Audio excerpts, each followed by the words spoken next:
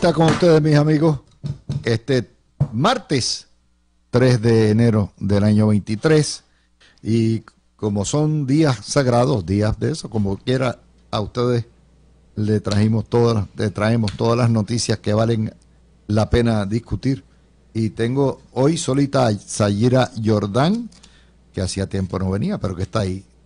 Feliz año nuevo, Sayira. ¡Yuhu! ¿Cómo estás, Luis? ¿Cómo está Puerto Rico en este año nuevo, bello, precioso, que vamos a hacer muchas cosas buenas? Antes de que Bueno, se yo me sé que tú te has pasado bailando por ahí, estás bien, estás Ah, contenta. hay que Hasta bailar, hay que bailar. el año. Hay que disfrutar, hay que mover el, eh, la, la- la El energía, el sí. Yo, Sayira, lo pasé durmiendo bien chévere, como mejor, sin un solo petardito, gracias a Dios. Gracias a Dios. Mira, antes de que Bueno. se me olvide, le tengo que decir feliz cumpleaños a mi papá que cumple en Ah, víspera de. Reyes. Así que, papi, te amo. Doctor Jimmy Jordán, estoy tan orgullosa de ti, te amo. Feliz ¿Y cumpleaños. estás retirado todavía? Retirado hace tiempo. Eh, Tú sabes que él fundó la Universidad de la Montaña cuando don Carlos. Bueno, yo me imagino entonces que hay que regalarle un tiestito para que siembre algo y se Sí, entretenga. en eso algo, es lo que le encanta. Vamos a trabajar con las noticias. Vamos a empezar con lo de Bad Bunny, porque tú estuviste a- bien activa en las redes cuando salió esto ayer. eh, y si te, te fijas, la prensa hundió la noticia, Sí, eso no es la así. cubre. Si hubiera sido cualquier otra persona, particularmente alguna figura ligada al estadoísmo, estaría en portada todo lo que está pasando. El silencio de la feminazi es garrafal. ¿Qué te parece? Me parece excelente tu análisis sobre cómo la prensa ha escondido esto. De hecho, mira, tengo una, una publicación aquí de las redes de un muchacho que se llama Torru Ojed. Dice, los mismos que reclaman espacio personal son los que persiguen y graban a los millos de las cripto en los hoteles. La consistencia de una taza de arroz y cuatro de agua. O sea que... eh, no hay consistencia en el mensaje, sin embargo, te tengo que decir honestamente, Luis, que yo me, me resisto a pontificar a este muchacho, y menos por ideologías políticas, no voy a hacer lo que ellos hacen. Aunque él suene independentista, Bad Bunny ha logrado su fama gracias a los Estados Unidos. Es mundialmente conocido, ya quisieran muchos muchachos en Ecuador, Colombia, Bolivia, Perú hacer lo mismo y no, no han podido porque no tienen los, eh, los avances al mercado que tenemos nosotros gracias a nuestra relación con los Estados Unidos. Y es una estrella, eh, yo pienso que eh, claramente no estuvo bien lo que hizo, pero uno nunca sabe lo que está en los zapatos de alguien tan famoso que básicamente ya se ha convertido en una industria billonaria. Eh, yo intuyo que ese muchacho está, tiene cansancio, tiene ansiedad y no estoy haciendo excusas para él. A mí me parece que la violencia no es admisible en ningún caso. Eh, Quién sabe cuántas cosas más él está lidiando ahora mismo. Creo que es el momento, y esto es un llamado a la gente que los rodea, que tienen intereses económicos en su, en la industria que representa Bad Bunny. Es el momento de hacer un llamado a esas personas para que intervengan por su salud física y emocional. Ah, fíjate una cosa, Tayira. eh, Bad Bunny es producto de su época. Eh, la lírica de Bad Bunny habla por sí sola.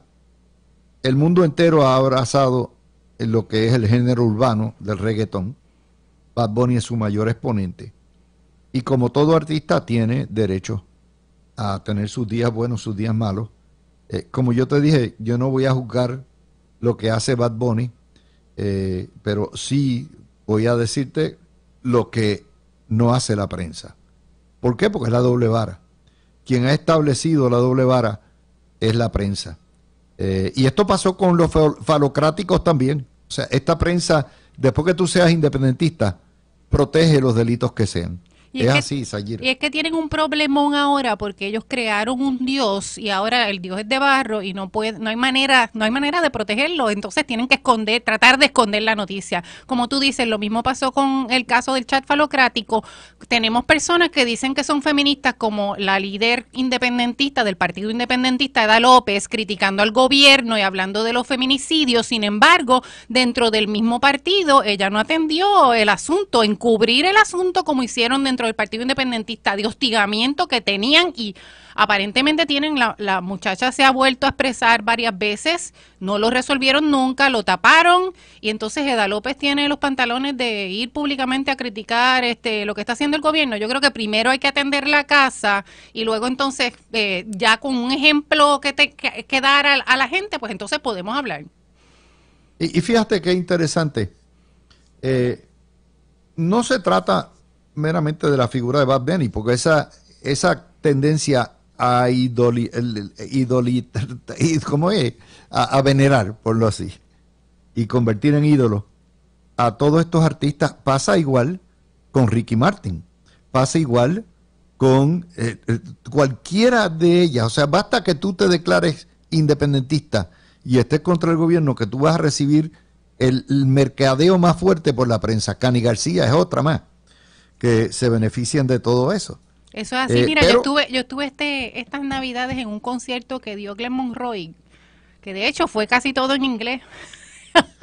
sobre Navidad y, y él, yo sé, de hecho, y él se expresó hace poco en el podcast de Cristian Sobrino, yo sé que él ha sufrido por, por eh, haberse expresado, y él lo dijo, por haber expresado que es estadista. O sea que si tú eres artista y eres estadista, no tienes valía para, para los medios aquí en Puerto Rico, y eso es bien peligroso. Bueno, fíjate que eso tiene un precio, Sayira, el, el precio es, mírate las ediciones de los periódicos de hoy. Los periódicos de papel se van pronto. Eh, tú lo sabes, mientras siga aumentando el precio del papel y el precio de la tinta, y el precio de la distribución. Una prensa genera muchísima electricidad, todo eso. Eh, es mucho más fácil digital, pero no es solamente ahí.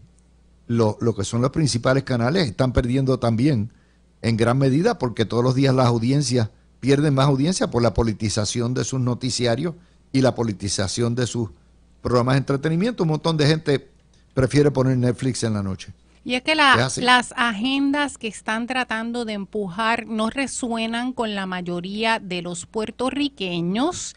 Entonces ahora nosotros tenemos a las redes y los medios sociales en los que nos permiten hablar abiertamente, democráticamente, expresarnos. Y entonces la verdad no se puede tapar y los medios de Puerto Rico y los anunciantes que compran los anuncios, valga la redundancia, en esos medios eh, tienen que darse cuenta a tiempo porque si no, como tú dices, están destinados a desaparecer porque no no tienen, o sea, no tienen una conciencia de qué es lo que en realidad eh, obedece al público puertorriqueño e incluso al periodismo como tal. O sea, yo estudié, yo estudié periodismo, yo estudié periodismo fuera de Puerto Rico y yo veo cómo se expresan los periodistas en Puerto Rico y las agendas editoriales que tienen establecidas claramente y que nos tratan de vender opinión como noticia y me escandalizo, es, es una falta de respeto al periodismo mismo. Fíjate, hoy vamos a ir con los crímenes y todo eso. Siempre en esta época se disparan los asesinatos. Se disparan después de la segunda semana de diciembre, se disparan en acción de gracia y se disparan entre el primero de enero y el día 15. Después empieza a estabilizar. Pero búscate la portada. Tú tienes ahí la portada en el estudio, estás viendo demandan cambios a la policía anticrimen, estudiosos, nunca le llaman independentistas, eh, estudiosos. Necesitamos un enfoque menos punitivo dirigido a la justicia social. Ven acá, la justicia social patrulla, arresta, pone espacio. O sea, ¿dónde estamos? Esto es un pujo que le resta credibilidad. O sea, tú dices, ¿para qué diablo va a comprar esa porquería de periódicos si esta gente lo que está es fabricando historias como si fueran ellos? Eso es obedeciendo esa, esa agenda que hubo en los Estados Unidos de, de abolir la policía, ¿te acuerdas? Que hubo un movimiento eh, y, y, sabes que eh, el resultado de eso ha sido eh, violencia más máxima en otros en sitios que la gente básicamente se está mudando de estado porque no, no aguantan la violencia. En Puerto Rico, como tú dices, siempre hemos visto eso. Yo estaba en la, en la fila del correo el otro día y este casualmente me encontré con un señor que es sargento retirado de la policía y me dijo, mira, siempre ha habido lo mismo. Ahora tenemos el problema también de que la policía necesita más recursos, necesita falta, yo, pienso, yo pienso que lo que hay es que reforzar a la policía, darle más recursos, emplear más policías, profesionalizarlos, ofrecerles educación continua y todos los recursos necesarios para que puedan hacer valer nuestras leyes. En Puerto Rico tenemos el problema de las drogas y yo creo que el resultado de eso es lo que estamos viendo a este principio de año que sucede, como tú dices, cada cierto tiempo. Y fíjate, siempre la culpa es de la policía. Ah, que no hay suficiente patrullas, que no hay suficiente esto, pero si la prensa mal, ¿quién diablo quiere ser policía? Si los primeros que cuestionan el trabajo de la policía es esa misma prensa, que los pela, si intervienen, violación de derechos civiles, esto, lo otro, es una prensa que apoya al criminal y castiga al que hace valer la ley. Y ese titular del nuevo día es un bochorno, porque cuando ocurren asesinatos, ocurren otros, son los Ferrer los primeros en pedir apoyo, eh, eh, que, sea eh, vigilancia y todo lo que hay. Es una hipocresía. Mira, yo le dije a alguien que me dijo que en ese movimiento de abolir, la policía y de que en lugar de tener la policía tuviéramos un approach más social, y yo le dije, bueno, pero cuando a las 3 de la mañana se te metan en la casa a tratar de robarte y a apuntarte con pistola, ¿vas a llamar a, a un trabajador social para que venga a defenderte? No creo, ¿verdad? Así que yo creo que es una visión este, tonta por no decir otra cosa, de, de, cómo, de cómo lidiar con el problema de la criminalidad. Hay, hay ciertas cosas, hay a, todo su tiempo y su espacio. Y, en, este fíjate esto, fíjate el patrón que hemos venido, ¿verdad? a final de este año vinieron con la chica Taser, pelaron al policía y resulta que la chica Taser tenía un récord y todo lo que hay. Después vinieron como trataron de echarle la culpa de la joven madre que le quitaron la hija en familia, a FAN y a los trabajadores sociales. O sea, es un martilleo incesante de, para destruir la credibilidad de nuestras instituciones gubernamentales. O sea, no sirven los trabajadores sociales de familia, no sirven los policías, no sirven los médicos. Ese es el mensaje que martillea todos los días la prensa. Nada funciona, todo está mal. Y entonces cuando el gobernador saca la listita, ah, dicen es que él vive en la Lalandia. Mira, en la agenda de esto del movimiento Victoria Ciudadana, y lo tengo que decir con nombre y apellido, es antipolicía. Yo confronté problemas cuando estuve en la candidatura por mi defensa a la policía, señalando el vandalismo en el viejo San Juan durante las, eh, las eh, revueltas del 2019 y en otros puntos que me he expresado en el sentido de que la policía tiene que hacer ciertas cosas, tiene que tomar ciertas medidas. Tenemos un monitor federal y todo ese tipo de cosas, pero yo vi con mis propios ojos a los policías cómo tenían que aguantar que los escupieran en la cara, que los insultaran. Yo decía, yo no, yo no sé cómo esta gente puede, de verdad que son eh, extrahumanos, porque de verdad que es imposible aguantar tanto por tanto tiempo y no hacer nada. Sin embargo... Fíjate la nota de, del vocero de hoy, eh, donde habla de los asesinatos. 80%, entre 80 y 90% de los asesinatos es un problema de narcocriminales. Dime una cosa, conforme a la receta que da el nuevo día de quitar la mano dura y de tener de, tratar al no, yo lo que quieren es pasarle la mano al criminal social y lo punitivo dicen que es ser eh, antihumano eh, no es humano porque degrada al ser humano. Entonces, ¿cómo trabajamos con el bichote y con el sicario que mata gente? Eh, ¿Qué le vamos a hacer? ¿Lo vamos a mandar a una escuela de economía doméstica para que aprenda a hacer soufflé y aprenda a hacer bizcochitos.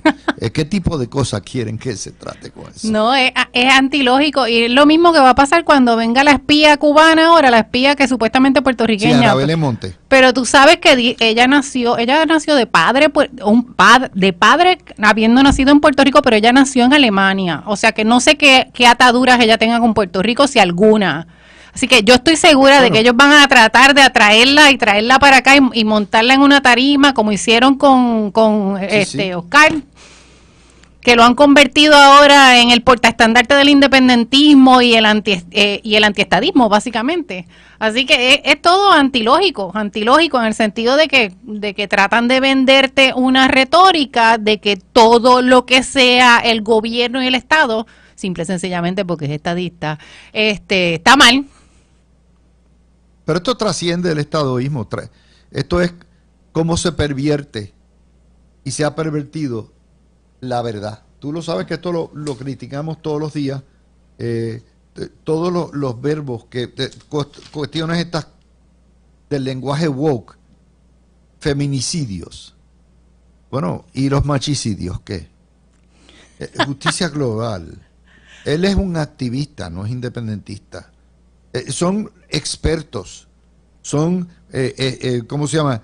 La, esta estupidez de que la equidad de género, eh, eh, la enseñanza de equidad de género va a parar los asesinatos. Todo eso eh, es, parte de la tragedia ¿no? que estamos viviendo. A mí me aborrece pensar que la vida de un ser humano vale más que otro. No, Cuando, y, yo reconozco y entiendo lo que dices, Luis. En, yo en cierta medida, pues no estoy totalmente de acuerdo porque yo pienso como sobreviviente de, violencia de género que sí hay que hacer unas diferencias en términos de qué es lo, cómo es que sucede esa, ese, ese fenómeno de la violencia doméstica y hay que atenderlo de manera especial. Ahora, las personas que utilizan como utilizan igual la violencia doméstica, utilizan el ambiente, utilizan estos temas como cuestiones políticas lo que hacen es eh, vilificar los temas y entonces en lugar de avanzar, por ejemplo, con la violencia doméstica, ellos piensan que con establecer el comité para y darle dinero a ciertas organizaciones se va a resolver. Y eso es mentira, eso no se resuelve así, ni se va a resolver nunca. Esto es una lucha a largo plazo por décadas de educación y de básicamente reaculturación, porque estamos criando a niños que, tienen, que eh, eventualmente conocerán que eh, la violencia por una u otra cosa no está bien. Fíjate, ¿qué más violencia que el discrimen institucional que hay en Puerto Rico? Y esos mismos periodistas, esos mismos periódicos no quieren que Puerto Rico cambie. o sea, eh, el sistema hoy te dice la historia del nuevo día, anticipan mejoras en el Medicare Platino, pero el primer párrafo inmediatamente lo que te dice es que el no recibir fondos federales de salud que nos corresponderían como ciudadanos en cualquier estado, no solamente cuesta vida, sino que hace que mucha gente que esté padeciendo de una enfermedad no encuentre ni tan siquiera un especialista o un subespecialista y finalmente ese discrimen te mata. Es una historia grande que no la ponen en portada. Eso es así, mira, nuestros viejitos, nuestras personas mayores y ya mismo yo como quien dice, perdemos eh, beneficios de salud al venir de un estado hacia Puerto Rico. Le pasó a mi mamá.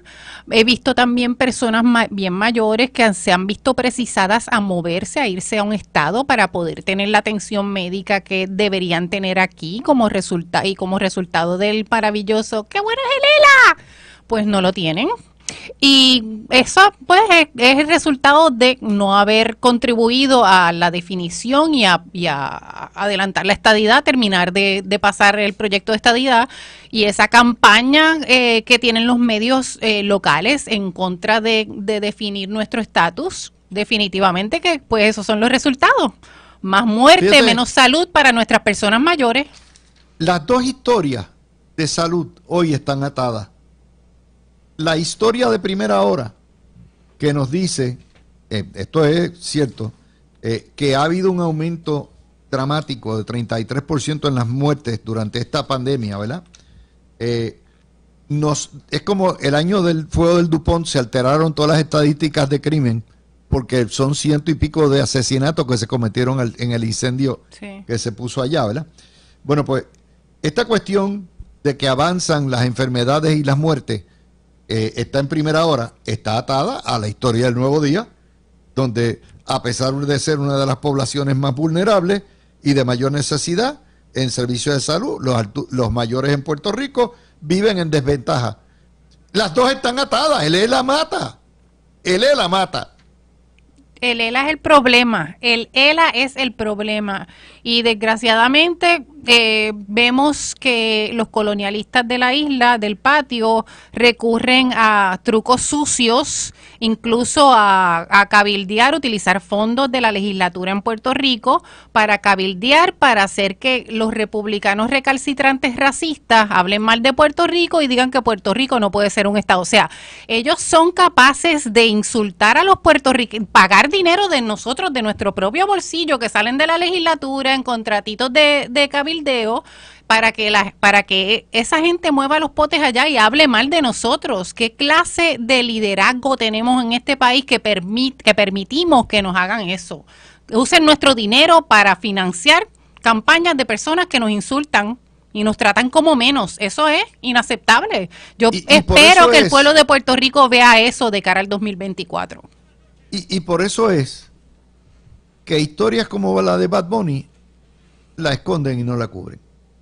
Porque siendo este un héroe de la patria, siendo un ídolo que es en gran, en gran medida producto de, de la propaganda y el mercadeo de los medios, tener que admitir que Bad Bunny, pues, eh, no es perfecto, que Bad Bunny eh, agredió o hizo lo que fuera, es admitir, es, ponerse la credibilidad de la prensa. Nosotros apostamos esto. ¿Tú te acuerdas que pasó con el rey el rey de la motocicleta, ¿cómo se llamaba? Este, el rey Charlie. O sea, todos estos grandes líderes de la revolución del 19, todos han caído uno detrás del otro.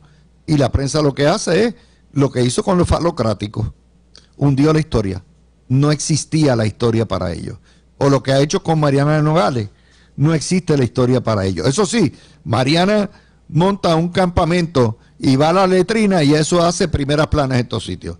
Tú sabes así. Pues, y entonces, ¿por qué nosotros los estadistas no respondemos de alguna manera? Porque yo, el único medio que yo veo que defiende eh, la manera de pensar eh, en, su gran mayoría, de la mayoría de los estadistas, independientemente si son PNP o no PNP, es, es tu programa, Luis. Entonces, donde único podemos ver la verdad es en las redes sociales o oyendo a Luis David Colón. O sea, hay no, que... no, hay, no hay un medio estadista. Exacto. Hay voces estadistas. Está Zulma Rosario, yo, está, eh, en la mañana. Eh, eh, o sea, hay de todo, pero no hay medios estadistas. Y, y peor aún, el comercio apoya la línea editorial de todos estos medios antiestadistas y nacionalistas. Esa es la realidad a través de su publicitaria. Eso es así, tú lo sabes. Pero fuera de Ramón Rosario, Leo Díaz, tú no ves mucho análisis porque no existe. No lo hay. A pesar de que somos mayoría de 53%.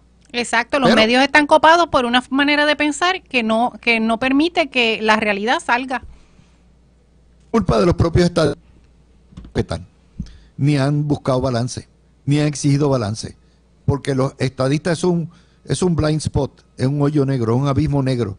Eh, esto, y me refiero, el electorado estadista lo entiende quienes no lo entienden son los morones líderes estadistas, que para ellos, ellos creen que gastar 3 millones en anuncios, que con eso resuelven el problema de incomunicación que tienen. Eh, mira lo del gobernador. ¿Tú crees que le hicieron mucho caso al mensaje del gobernador? Nada. Del listado de logros. Nada. No lo tocaron. Pasó sin pena ni gloria. Hablaron más de, de Bad Bunny que del gobernador y de su mensaje. Y él, una, es, una falta de estrategia en comunicación, pero si quieres hablamos de eso, que creo que tenemos que... Sí, sí, ya tenemos la pausa, son las la 1 y 26, y regresamos con el tema precisamente del mensaje del gobernador, los logros y lo que está pasando en el Partido Popular. Regresamos. son las la 1 y 32 minutos. Sayira, vamos a hablar brevemente sobre el tema que tenemos planteado con el mensaje del gobernador y los logros. En cualquier país civilizado del mundo, si tú vas el desempleo a cifra, cifra récord de 6%, si aumentas los salarios de todos los empleados públicos y las bonificaciones, si le das vacaciones a los 160 mil empleados públicos, si te recuperas rápidamente después del huracán Fiona, maneja correctamente la crisis de COVID, eh, reestructuran la deuda sin tocar un centavo de las pensiones de retirado, construyen en dos años cerca de 5 mil viviendas aumentas el salario mínimo eh, del sector privado, haces crecer la economía tus dos primeros años gracias a los fondos federales, eh, bajas los asesinatos en dos años, recaudas eh, y logras una recuperación en el turismo, corriges 400 escuelas de columna corta, traes una friolera de fondos federales, más de 100 millones, de, 100 mil millones de dólares, estabilizas el plan vital, eh, rearreglas toda la ciudad capital y le das estabilidad al gobierno, eso sería base para revalidar por 60% de los votos. En Puerto Rico no. ¿Cuál es el problema? Mira, número uno, yo estoy de acuerdo con Juan José, de cierta manera, que lo vimos durante la intervención comercial, eh, él hablando de que el gobernador necesita portavoces. Yo creo que además de portavoces, el gobernador necesita una estrategia de comunicación que llegue a la gente y necesita articular un mensaje coherente y uniforme. Yo creo, mira, por ejemplo, yo, yo pensando en los logros de Pierluisi y lo que impacta más, directa, más directamente a la gente o lo que es de, de mayor interés para mí es ese elemento del desempleo. ¿Por cuánto en nuestra historia habíamos tenido un desempleo tan bajo? Siempre habíamos tenido desempleo en doble dígito, siempre nuestro desempleo había estado por encima del 10% históricamente. Esto es un hito histórico y eso no se ha, no se ha anunciado y no se ha perfilado dentro de, de los medios, de la cobertura, de la comunicación del gobierno como el logro que es. Eh, para mí eran las 3D, el desempleo, la deuda y la digitalización. La deuda, el, la negociación de la deuda del gobierno central es fundamental para nuestro futuro. Y la digitalización de los servicios, eso impacta a la gente directamente. El hecho de que tú ya no tengas que ir allí al SESCO para sacar la licencia, sino que puedes hacer una cita por una aplicación, eso hace una diferencia en nuestras vidas directamente.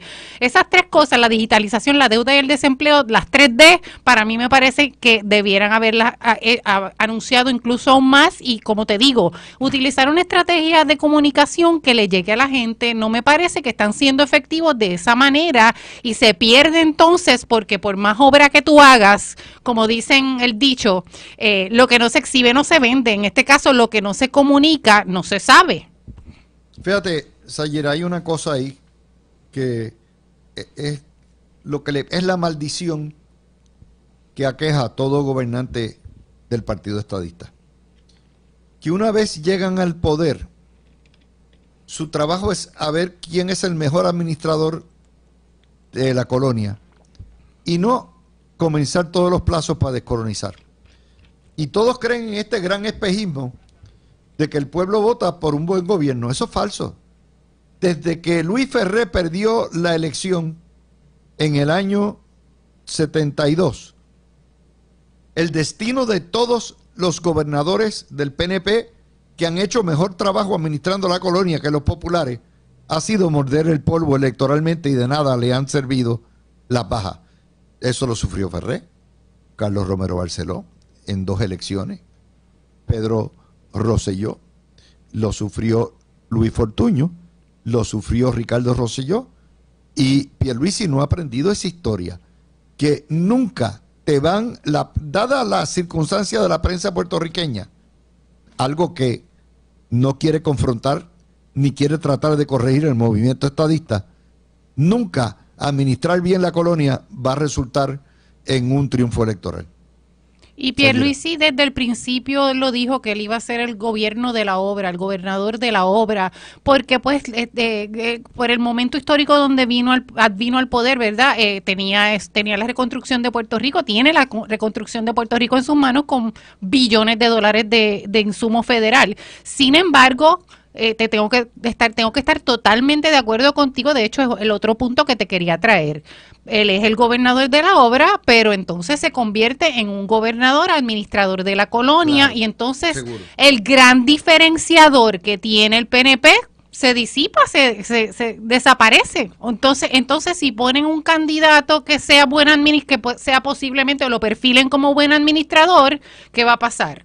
El gran diferenciador para el Partido Nuevo Progresista es la estadidad y ahora mismo con todo y la aprobación del HR 8393, que ahora como quien dice se quedó en la nada, ¿verdad? Y tenemos que empezar otra vez a empujar eso. Este, no no hay no hay no hay una obra palpable y contundente con relación a la estadidad ese gran diferenciador que podría hacer la diferencia, valga la redundancia, con Pierluisi, no se ve. De hecho, en su mensaje dejó la estadidad para lo último. En las publicaciones que puso en las redes, el último puntito a lo último, a lo último fue em, ayudamos a empujar el proyecto de la estadidad el proyecto de definición de descolonización. Me parece que ese diferenciador es importante para los estadistas y, los estadistas son más que el PNP, como tú muy bien sabes, eh, y se vio en las elecciones del 2020. Así que, estratégicamente hablando, van a tener que ponerse las pilas en ese sentido. Bueno, yo, como te digo, el, problema es mayor. Eh, porque, porque ahí, eh, en lo que es el sector conservador trompista, eh, de los republicanos a ultranza trompista. Lo que es el sector religioso, que son primeros religiosos que, electores o estadistas, eh, Pierluisi tiene un enorme problema con eso y lo que es el sector más ideológico. Y yo no lo oigo, eh, o sea, el, el traer la estadidad como hacen todos los gobernadores cuando se paran en el hemiciclo a dar su mensaje, todos los gobernadores estadistas, y traen la estadidad a lo último, es darle lip service. Eh, y ciertamente ha habido unos avances porque eh, los delegados hicieron su trabajo, la mayoría de eso. Eh, esto se aprobó en la Cámara, hubo un consenso, hay un incremento brutal en los fondos federales que amarra más a Puerto Rico, pero ciertamente yo creo que es un punto ciego que tiene el gobernador y, va más allá de comunicaciones. Mira, Luis, yo, como, yo como estadista les recrimino, y te lo voy a decir claramente, les recrimino al gobernador que él, habiendo tenido un mandato a través de un voto por la estadidad en el 2020, no dedicó fondos para esa pelea precisamente para esa batalla, para, para lograr que ese mandato se impusiera, porque eso era política pública. Si la gente vota por algo, eso es la política pública que el gobernador tiene que implementar y para eso tiene que dedicar fondos. Y entonces no me hables de los delegados, porque a, este punto ya vemos claramente que la delegación, aparte de los delegados extendidos, como tú muy bien dices, que esa gente no cobra nada, pues no, no eso no rindió fruto. Entonces, él debió haber, eh, a mí, a mi entender, él debió haber destinado fondos para empujar el proyecto de la estadidad, no solamente a través de la delegación, sino a través de la política pública del gobierno. Claro, eso miraremos ahora, porque yo sé que el gobernador tiene encuestas, como la tiene el Nuevo Día. Eh, el Nuevo Día va a ser su movida estratégica para empujar el candidato que no sea estadista una vez tire la primera encuesta que siempre, generalmente la hacían anualmente, ahora las esconden los primeros dos años y la hacen el tercer año. Así que yo estoy seguro que ahora en primavera tiene que bajar una encuesta y ya sabremos. Eh, y si Pierluisi aparece perdiendo con alguien, eh, eso va a causar un cisma enorme en el Partido Nuevo Progresista que es uno de los temas que tenemos hoy y, vamos a estar discutiendo. Vamos ahora al Partido Popular, Sayira. Tú escuchaste a eh, lo que es el alcalde Fabián Arroyo del ARE traer por los pelos a David Bernier como el Juan Salvador Gaviota de La Pava y traen de nuevo eh, a Julia Nazario diciendo que ella se queda como presidenta de las mujeres del Partido Popular y se cambia de soberanista a happy colonial. Dice hay que mejorar el, el actual. Esa es la situación. El Partido Popular está en problemas de sobrevivencia. O sea, si el Partido Popular pierde las próximas elecciones, desaparece como colectividad. Y es que si no, si no hacen algo diferente. Ya, esto es locura, es hacer la misma cosa y esperar resultados diferentes. Ya ellos, eh, eh, ese rehusarse a definirse, ahora mismo el Partido Popular está como gallina sin cabeza, o sea, no tienen derrotero, no, no saben qué van a hacer, no, yo no veo nada, no veo ningún líder que, que ellos puedan presentar ni a la gobernación ni a la comisaría residente, no veo ningún futuro y definitivamente que peligra la existencia del Partido Popular en las elecciones del 2024 y tendríamos entonces al MBC convirtiéndose posiblemente en la segunda fuerza política en Puerto Rico y eso a mí me preocupa grandemente.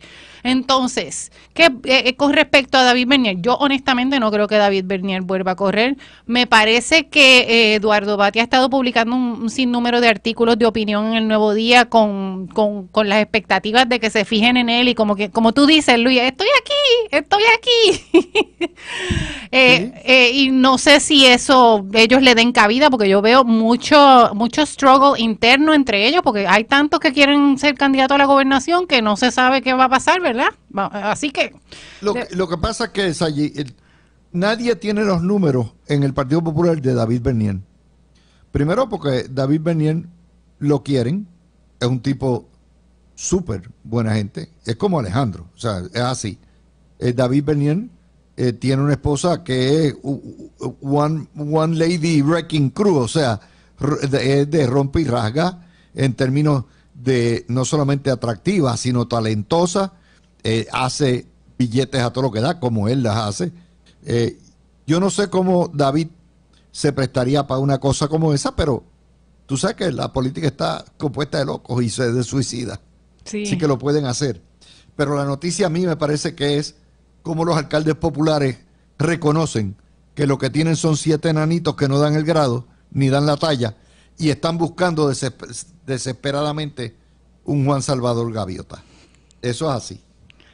Eh, y eso me trae a, Julia Nazario, que la movida de cambiarse a soberanista, a Happy Colonial, es una sola. Julia sabe que el Partido Popular va para abajo y que si los populares no votan popular, se, van, se fuñen. Ella vive en un pueblo estadista. Sí. Loíza es estadista. Sí. La raíz afroamericana nuestra es estadista, afro, como tú quieras, caribeña, lo que sea, está en Loíza. Y Julia lo que está tratando de hacer es agarrarse, culiarse. ponerse para, que como para que los estadistas voten por ella en la alcaldía. Claro, claro. la boba le dicen, la boba le dicen. De eso es que se trata. Y esa noticia pasan desapercibida, pero aquí no. Nosotros las cubrimos a todo lo que da. Lo, otro que, te tengo es la historia de cómo el PNP considera radicar un proyecto de rebaja contributiva con créditos o algo así. Chica, que bajen el IBU. Sí, yo estoy totalmente de acuerdo con eso, Luis. Yo creo que lo mejor que podría hacer eso tendría un impacto y, o sea, un impacto total a todo Puerto Rico y, le va a dar visibilidad a lo que a lo que el gobernador quiere, que él quiere la obra, pero la obra no se ve y no es tan rápida. Eso eso tendría un impacto inmediato. Así que yo creo que eso debería deben considerar. Oigan a Luis, por favor, allá en Fortaleza. ¿Sabes por qué? No lo van a hacer. Quitar porque el IBU está comprometido a los primeros cinco centavos. ¿Ok? Los primeros cinco centavos van a pagar bono, pero el resto no. Si tú le quitas, todavía hay un 7% o, o casi un, un 6 puntos que puedes rebajar. Aún así, el del inventario, los arbitrios de automóviles. Estamos hablando de renglones que no son muy grandes, pero que deben... Y lo otro, cerrar los loopholes de lo que es el paraíso fiscal. O sea, el que venga a invertir y quiera un, un beneficio contributivo, tiene que atarlo a inversión y empleo.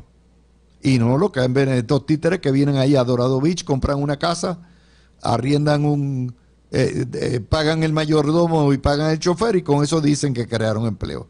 Ahí es donde está el problema, Sayi. Sí, con el derrumbe de la criptomoneda hay, hay espacio que atender ahí con, respecto a esas exenciones que se le han otorgado a personas que son, que tienen su capital en eso.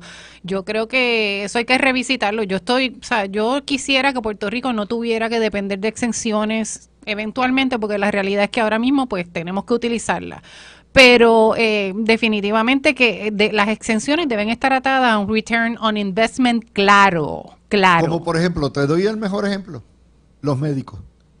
Yo feliz de que le den el 4%. ¿Por qué? Porque el retorno de inversión es que el médico se queda aquí, el médico trata, el médico no se va y como quiera el médico consume, paga contribuciones, aunque sea de manera reducida. Eso es lo que se llama una buena inversión en términos de la exención. Tú creas un incentivo, porque no es un paraíso fiscal, ningún médico en Puerto Rico se va a hacer millonario eh, teniendo eso nada más. Eso es un ejemplo, Sayira. Sí, yo veo las, las exenciones como un punto de partida para lograr nuestra economía sustentable, sostenible, que podamos eventualmente salir de esas exenciones, excepto en esos casos, ¿verdad? Que tenemos que beneficiar a ciertas figuras, como por ejemplo nuestros médicos, que se nos están yendo, pues para poder retenerlo y para, para que consideren estar aquí, tenemos que, tenemos que incluir esas consideraciones dentro de nuestro esquema contributivo. Cuando pasemos a ser Estado, pues entonces vamos a tener que, eh, eh, como te digo, parear lo que, lo que nos, eh, lo que nos requiere el IRS para que para que estemos igual que todos los demás estados, ¿verdad? Y así ya entonces tendremos que eliminar, yo creo que muchas, de, muchas, si no todas de las exenciones que hay ahora mismo. También hay, mucho... también hay mucho relativo a lo de las leyes de cabotaje que se discute. Hace poco vi algo, yo no sé si tú lo has visto, Luis, con respecto a la ley Jones de, en términos de las exenciones que, que se hicieron más difíciles ahora. Y se habla de que la eh, Virgin Islands no tiene no tiene las mismas restricciones que tiene Puerto Rico con las leyes de cabotaje y que ellos han luchado por, que sea así. Pero no va a haber cambio, Sayira, no va a haber cambio. Primero, no se sabe ni la hora que es en el Congreso porque Kevin McCarthy tiene una rebelión de 20 maguistas que no quieren votar por él. Y eso sabremos esta tarde o mañana dónde termina eso. Y lo otro, en la medida en que haya el mismo tipo de gobierno trancado compartido demócratas en el Senado y la Cámara, esto va a ser cuatro años a palo limpio, tú lo sabes. El estatus de Puerto Rico ya, eh, no se va a resolver. es, tristemente te tengo que decir que no tengo mucha esperanza en esa dirección. Y entonces ahí entramos al 2024 con un PNP que va a presentar en su carta de, de logro, pasamos el HR 8393 y después, ¿y qué? ¿Verdad? Y hay otra nota que quiero comentar contigo, porque me pareció mico. El día de diciembre, eh, Alexandra Lúgaro le dijo a el periódico Metro que ella no había decidido qué era lo que iba a hacer y que al no haber decidido lo que iba a hacer, esencialmente eh, abre la puerta yo soy de los que sostengo, a Alexandra le pagan por hacer organizaciones comunitarias y esas organizaciones comunitarias son las que, las que crean, ¿no? Pues Alexandra dice, no descarta regresar a la política cortesía de Foundation por Puerto Rico, pero hay más. Hoy le dice a la prensa acá, eh, al Nuevo Día, que ella no va a ser candidata en la política el 24. ¿Qué tú crees? ¿Tú estuviste dentro de ese monstruo? Sí, mira Luis, por lo que conozco, por lo que conozco de Alexandra, a mí me parece que ella no va a volver a correr y menos por el MBC. ¿Sabes por qué? Porque a ella la utilizaron. A ella la utilizaron para posicionarse esas cuatro posiciones que se posicionaron en la legislatura y luego la, despacharon y yo creo que eso fue lo que la hizo a ella tomar ese nuevo trabajo y además de que no iba a tener los ingresos que ella necesita para sostener su, su estándar de vida, ¿verdad?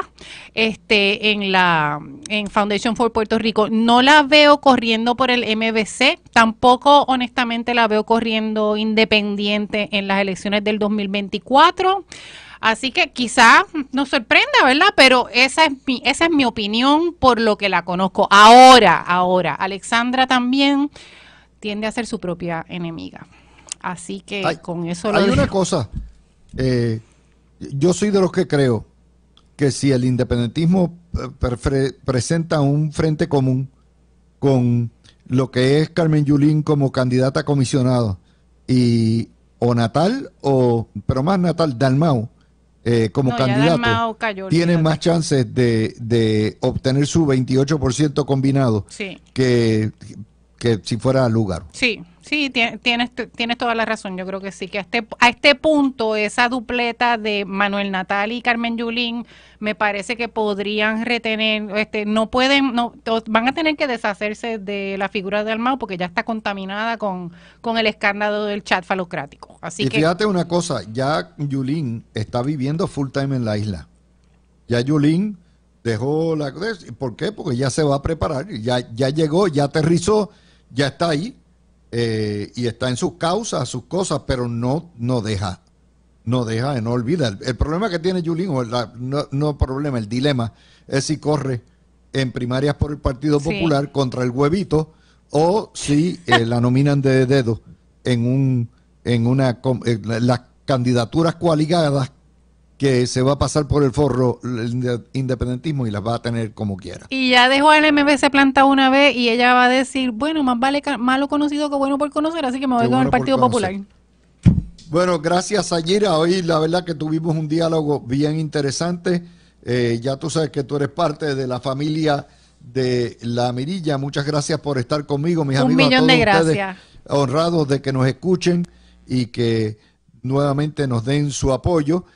Vamos a hacer, a, pausar hasta mañana. Regresamos a las 12 del mediodía. No se retiren, que por ahí viene la reina de las noticias, Carmen Joven.